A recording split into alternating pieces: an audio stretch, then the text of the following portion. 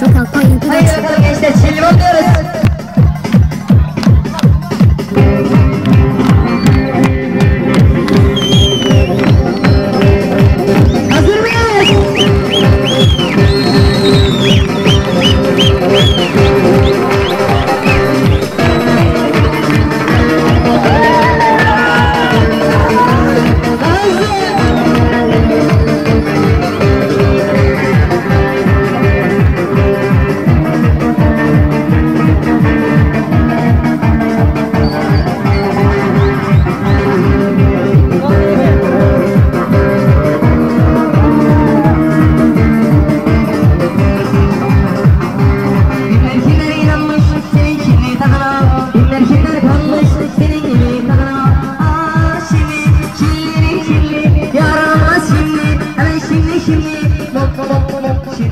DJ Sam.